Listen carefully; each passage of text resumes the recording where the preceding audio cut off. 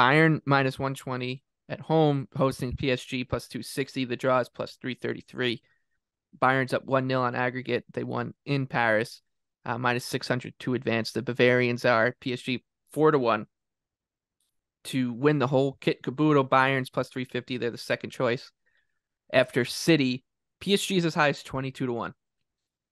We said this, we laid this out a few weeks ago before the first leg of this encounter when PSG was dealing with a bunch of injuries. A couple of the guys didn't end up playing, but uh, we we PSG was a mess at the time.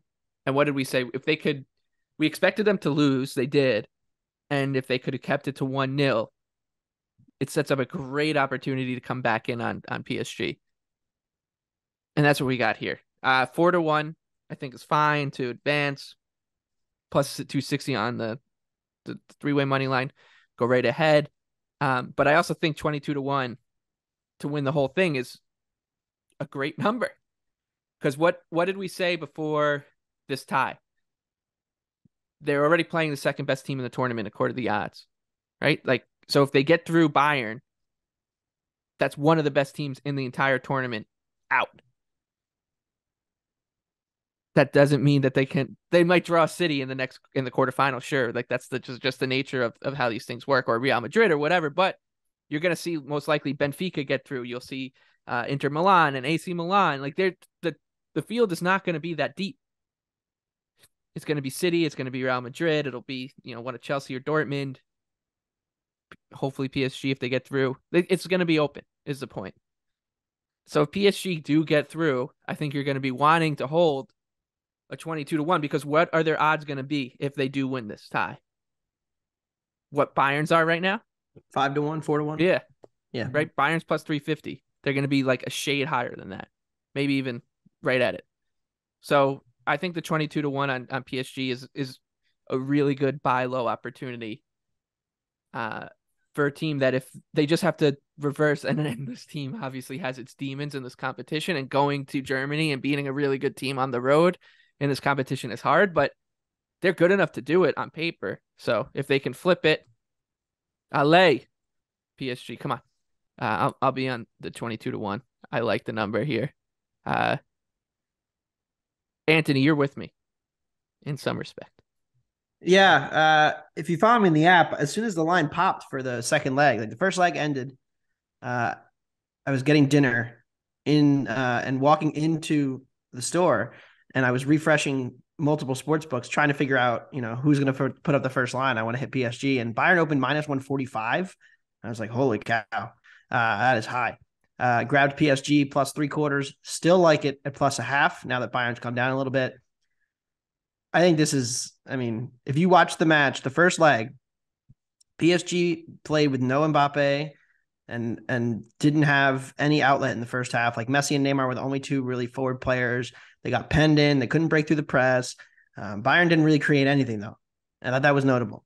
As bad as PSG's defense has been this season, and especially in recent games. I mean, Marseille ripped them apart for two xG. Lille over two xG. Nantes scored twice on Saturday. Um, this defense has had major holes. It's it's pretty concerning. But even despite that, Bayern couldn't create much of anything centrally in the middle of the penalty area, which is really all I'm worried about. You know, if Bayern hits a banger, you know, tip your cap. But if you're not giving up these high quality chances to Bayern, then I think I can live with anything else and hope Donnarumma has a good shot stopping day. So, what happened in the second half? Mbappe came on, and I mean, it was one way traffic for PSG. I mean, they lost 1 0, but Sommer made a ridiculous save where he got lucky with his head on a one on one. And then PSG does score, and the guy is off sides by like a yard, not even like foot, like 40 yards up the field. Uh, and you know, it's offsides. Not the goal doesn't count, but like over and over and over again, Bayern looked real bad, real shaky uh, in transition defense. And now Neymar's out, but Messi and Mbappe are going to be good to go and are fit and flying and playing well. And uh, both scored over the weekend. Both have been scoring and assisting each other for weeks now. They destroyed Marseille. They put up over two xG against Lille and Marseille, and and put up four on Nantes. Like this attack in transition against a Bayern team that's not going to have Pavard. It isn't playing Cancelo anymore. Cancelo played 12 minutes against Union off the bench, then did not play against Stuttgart. Uh, Nagelsmann is he just not going to play him now? Like, okay, but that's a downgrade. Uh, and Daley Blind playing left back. I tweeted this when they lost to Gladbach. He was getting cooked over and over again in transition, like defending in space and with a high line with him is who it's dangerous. Uh, and I think I think PSG is perfectly suited to finally get some bounces and some VAR decisions and some breaks their way in this damn league. Uh, and I think that plus a half when they don't even, you know, if it's one one late, Bayern's going to be protecting a lead, not trying to go run out the score. So I love the plus a half here on PSG. Get it on the 22 to 1. I think I will. I think I will. I still don't trust them though. Like even if they win this match, like if they play Benfica, like I'm hitting Benfica in, in the next round. If they play uh, Chelsea, I'm hitting Chelsea in the next round. If they play, who else could they play? I mean, um, who else is going to be in this? Real Madrid. Mm, probably wouldn't bet Real Madrid. But if they play, uh, well, buddy, after today, I don't know about that. After Real Madrid drew Betis, no, no. No, after Liverpool just put up a touchdown against United, the best team in the world, Anthony. Oh yeah, well, if Liverpool comes back to uh, win that tie, maybe Liverpool, maybe, but I wouldn't bet PSG against Liverpool. So like, there's not a lot of teams where I'm feeling good about PSG. Um, obviously, the market is the reason I would bet against them, but uh, this PSG team, I just like this matchup a lot more so than I like them long term. But I mean, of course, they have three of the five best players in the world, arguably. So like they're live in any competition to win anything at any time. Right, and and they're twenty two to one right now. So yeah, that's that's the that's the point. And uh, BJ, this is your team. You love you Yeah. love these guys. Oh, I love these guys. Um, yeah, this is really hard for me. Um, so I do project Bayern at minus 160. Um, I'm not playing Bayern. There's no chance I'm playing them uh, at this high of a number. I mean, I think Anthony hit the nail on the head. Is that in the first half, Bayern just completely controlled the entire match. They kept PSG in their own end. They didn't create a bunch of chances, but their press was incredibly effective. I mean, they had a pass per defensive action for the match at 7.4. And I'm pretty sure all six of their high turnovers came in that first half. And then Mbappe came on the pitch and Bayern was in trouble. And I think it's very interesting uh, what Galtier is going to do. I honestly wouldn't be surprised if he plays a 4 4 2 and just puts Messi and Mbappe up top uh, instead of the usual 4 3 3.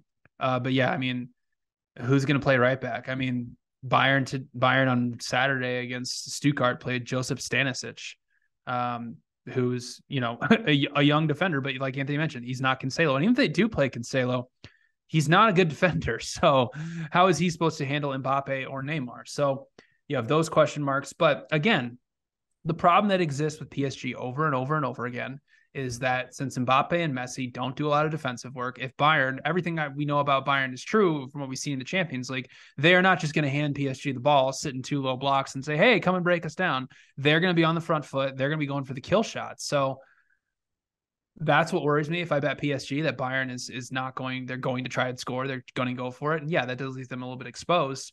But again, when you're defending with eight guys against one of the best attacking teams in the world, it's very, very tough. Plus, Marquinhos is going to be out for PSG. So that's another blow for them. So you're relying on Donnarumma, who has been playing better, but you know, coming into the first leg, he was on a really bad uh, form of shot stopping. Uh, you know, the goal that they scored, he probably should have saved. Um, but yeah, no, I am. I think this is, you know, I, how I feel is I've, you know, I faded PSG in in the first leg pretty heavily. I won, so I'm, you know, I'm feeling like, all right, I got my win, and I didn't feel very comfortable about it. So I think this is a a, pretty easy pass uh, for me.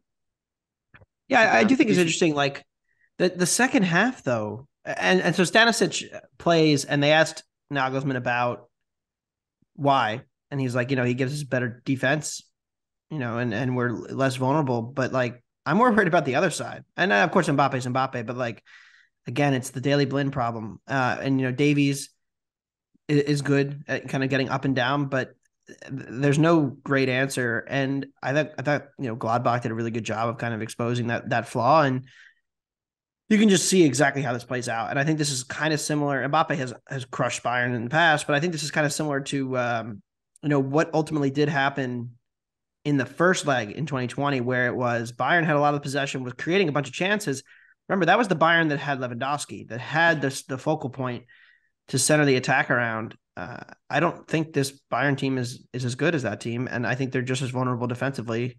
Uh, so I think PSG, I think Mbappe is going to get one in transition. I think it, it the easiest way to beat a press is when you have one of the best players in the world at the top of it who's extremely fast and good at dribbling. And once he gets the ball, I mean, everything breaks. Uh, and then they have the greatest creator of all time next to him. So, like, uh, I like my chances at, at, this being a coin flip game at the worst. If anything, I, I think like I PSG is definitely a value on the money line too, of course. And if you think this way, I don't know why you wouldn't get in on the future because because I know I'm just going to be fading. I'm going to be like they're going to draw Benfica, and then I'm going to be like, well, you know, Benfica's really well set up to. And they were better than them in both. But how, that they ben, were. What what says they're gonna? Why would they have to draw Benfica? I mean, it's Real Madrid will beat them. Nah, Real Napoli will beat them. Paper, t- paper tiger. Leipzig will dismantle. right, but but these teams like they can only draw one of them. And so Chelsea's the best. Let's say they let's say they do draw Benfica, they'll be favored, and that means that you know, City, Napoli, Madrid, uh, the the two Milan clubs, like they're gonna have to play other teams, and they'll all be elim- like they'll have to face what the, yeah. the, those three of those teams. BJ will in, never in bet on PSG. You can. I'm, I'm never had, gonna do it ever. I had it's, the ticket. I had like ten to one last year before they signed Messi and then they signed him and it went off at like three to one and then they lost in the first round of the knockouts and i was just like mm-hmm. i'm never betting this team again in the champions league so the, but i, I bet you if I, the same problem over and over for them it's like yeah they look great neymar's out which i think is okay in this matchup yeah, no, I, I think they're like, okay without it's the same problem that existed for years, and nobody, no manager that's came in has been able to solve it. It's that Messi and Mbappe don't do defensive work. They sit in two low blocks they're not used to doing, and they're just not effective in doing that. We've seen it time and time again. Yeah, Bayern didn't create a ton of chances in the first leg, but when they have to play these style of teams, they don't have a style of play that can really dominate them. They're stuck on the foot on the back on their on their back foot, and then they have to rely. I mean, it's the same problem for France. But, yeah, but here's the thing, France though. won a World Cup and they've gone to this final. And yeah, right. That's Kylian the Mbappe. thing. That's, that's the, the only thing. It's like because they have Kylian Mbappe, they're really good. But other than that, every other area on the pitch, they get dominated. But the 40 minutes where he was on the pitch, they weren't getting dominated. They were doing the dominating. Like they had like four great chances. Bayern was def- like barely hanging on. I don't remember Bayern having like a clear. I know. I was, and I was rooting against the goal. I, I was I, I was, rooting like, on. I, I, had the under, and I was like, "This is in trouble." Once need, that second goal, I was like, I, just need Bayern Uh-oh. to get out of here with the one 0 because I want the number on PSG. Uh, yeah. And man, it's gonna, fun. it's gonna be fun to be rooting for them, and and you guys are gonna be missing out. And and when they do draw Benfica, and it's like City versus Madrid, and or City Napoli in the quarter in another quarterfinal, and City, Madrid City versus, ain't going through, buddy. Versus Chelsea. Sorry, Leipzig. Um, yeah, there you go.